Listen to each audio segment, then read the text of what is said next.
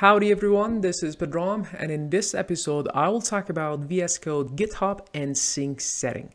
This is going to be a very very useful and practical feature that we can version control our code and files directly from VS Code editor. So without further ado, let's look into that. So as always, I'm gonna go ahead and open the VS Code. So this is where we left off last time.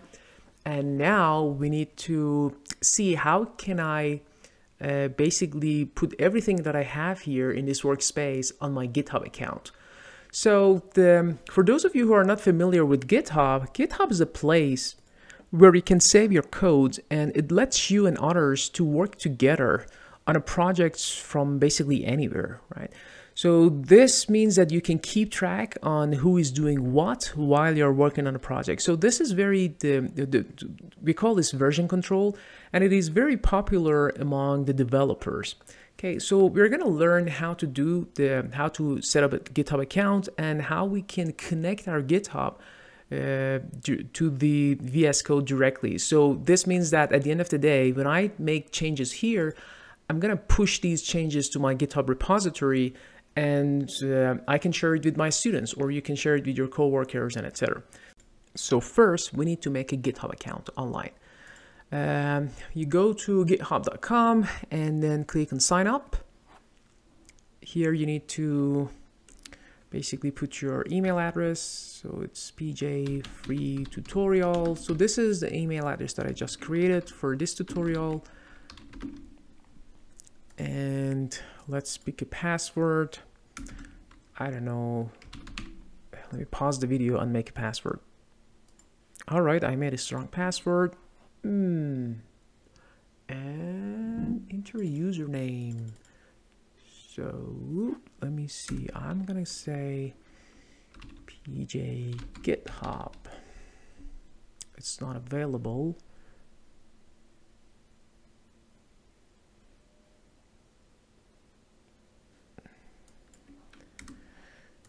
Okay, then it's asking for a username. So let's try pj github to, well, pj github is not available. So let's add pj github tutorial, tutorial. Yeah, this is available. This is available. So let's press and continue. And then would you like to receive product updates? Well, no. All right, so then it asks for some confirmation, right? Uh, so let's look at the start of puzzle, pick the spiral galaxy. So pick the spiral galaxy. And now it should have created my account. Okay, so let's save this and let's check our email. Okay, this is the code. We need to paste it here. All right, we should be ready. So I'm gonna pick student or teacher, really doesn't matter. So I'm a teacher, so I'm gonna say, let's uh, let's let's go with this. But depending on who are you working with, you can pick these ones. It really doesn't matter. Um, okay, so what specific features are you interested in using? Collaborative coding. Again, I really doubt that these things really matters. It's basically for the GitHub itself to make sure that it's sending you relevant email about their products. Uh, so I'm gonna say just uh, team admin and collaborative coding. All right, so I think our GitHub continue for free. It should, well, this is cool. And so it is initializing my dashboard now I have my GitHub account. So when I click on this thing, so I'm signed in as PJ GitHub tutorials and I can look, I can go to my profile, look at my repositories, you know, uh, code spaces, uh, gists, and etc. We're going to talk about gist later on, but uh, well, basically this is the this is the environment uh, for the GitHub account. So if I go to my profile, so this is how it's going to look like. So I haven't done anything yet. There is no repository. I haven't made any repository yet. So this is if you make your GitHub account for the first time, right? So now I have a GitHub account with a username and password. So once you have that, you can come back to your VS Code. Okay, so then how can I connect this workspace to my GitHub account? Basically, so if you go to this um, source control on the left, you see there's this source control, and it says that this folder that you're working uh, in is, uh, is, this folder doesn't have a git repository. You can initialize a repository which will enable source control features powered by git right? I'm going to go ahead and initialize this repository. Okay so when i want to initialize this repository so right now uh, it is i haven't i haven't uh, published it into any repository yet right but right now, if I make any changes, it's going to tell me that, okay, you are making some changes, right? So let's, let me actually go ahead and save this, go back. So as you can see, right now there are four changes that we have in this folder. What are the four, ch four changes? Basically, I have a CSV file here, new python.py, test.py, and this machine learning syllabus PDF right? So these are the four changes. I need to push these four changes to my GitHub repository. Pushing to a repository means that whatever changes you make, you push it to your uh, repository and then uh, basically from now on, it's going to be the, the sitting in your GitHub repository online. So how can I do that? Whenever you make a change, you need to commit those changes first. So let's click in here, says, okay, let's say this is my first commit and then I do control enter. So when I do control enter, it says that do you have some unsaved stuff? Do you want to save it and commit? I say yes, save them all and then commit. Okay. Let's let's try it again. First commit. Yeah, now the now it's all of them have been uh, committed. So committing means that okay you you realize there are some changes but you haven't pushed them to the repository yet right? So there's nothing in this github account yet. If i if i open it and refresh i don't see any repository yet right? But if i go ahead and publish this branch right? So i need to publish whatever I have here in this workspace you know, online. So let's go ahead and publish this branch. As soon as I press this one, it's going to complain that, okay, you know what? You don't have GitHub extension installed. So I have to either uh, click on this allow or go to the extensions, search for a GitHub extension and add it manually. So I'm going to go ahead and say hello. And so this is this wants to um, basically authorize VS Code to to get access to my GitHub account. Okay, say continue and yeah this is the one the, the, the account that i'm logging in right now. So i say okay go ahead and authorize github. The authorization has been successful. Let's go back to the vs code. Now before we continue we need to make sure that, that we have installed the github extension. So let's go to the extensions and search for github. Github so the first thing that we see, this is GitHub pull request and, issue. So this has been downloaded 5 million times. So this is the extension that we need to install before we continue. So let's go ahead and install this one. And what we need to do now is to publish that repository. So when I click on this publish branch, I'll be given two options, you know, publish to GitHub private repository or publish to GitHub public repository. So basically, if you want to make your repository private or public, so I'm going to go ahead and make it public. And yeah, it's going to take some time, but now my uh, GitHub repository has been successfully published. So if I go ahead and uh, go back to my GitHub account, if I refresh this page, the repository should be here. All right, so this is my repository, workspace underscore YouTube. Okay. Now, what if we want to make some changes to our code already? So for example, I want to print something like hello world, this is Pedram, or I don't know, make some changes here, right? So let's go ahead and say hello world, this is Pedram. And so I make this change and I have to save it, control S. So right now, when I make a change, it says that, okay, there's a new change in, in this repository. So do you want to commit those changes or not? But before that, let me show you how it looks like on my GitHub account. So if I go uh, open Python file and test, so right now you see it's print hello world, right? And let me go back to my VS Code and commit these um, changes. I'm going to call it first commit. So, and then you do control enter. Now I have committed the change. Let's push it to the repository. So I can either click on this thing, you know, to push that, uh, it says push one commit to original uh, slash master branch, or I can click on these three dots and then say push, whatever works for you better. So you can do it either this way or click on this thing. So I usually want to see that I push it correctly.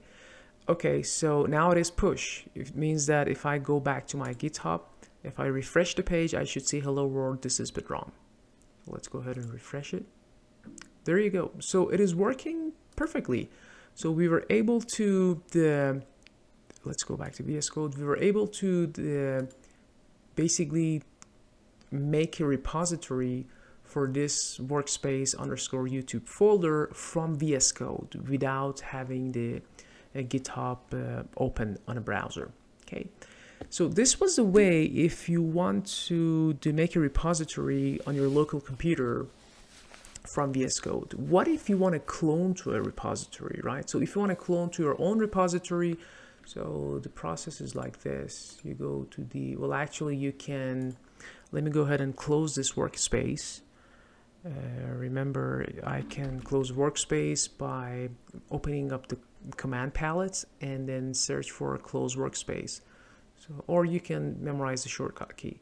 So then when I click on this, the file, I, you can see I can directly clone a repository, right?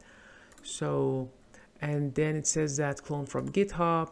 So right now there's only one repository there so I can clone from that repository. I can put it in a different folder. So for example, I can make something called VS Code and then make a repo just clone that repository here. Select repository location, right? Now we're going to open it in the same window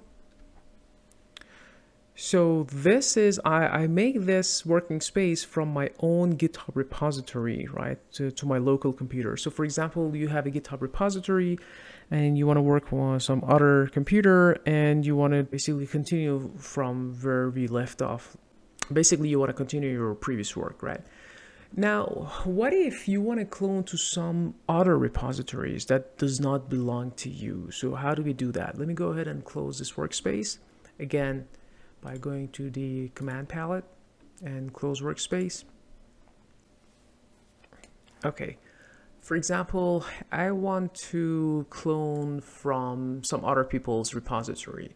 So remember, this is this is the account that we created together, PJ GitHub uh, tutorials, and this is another account. For example, I want to use their repository, his repository. So I go to the, for example, machine learning, and uh, I need to down I need to copy the URL so I press on this code and then copy the URL right so this is the name of the this is the URL for the repository okay now I have the URL from this repository I want to basically clone it to my local computer through VS Code so go back to the VS Code and here clone a repository so I say the, provide you uh, the URL for the repository. So this is the, what we just uh, copied there.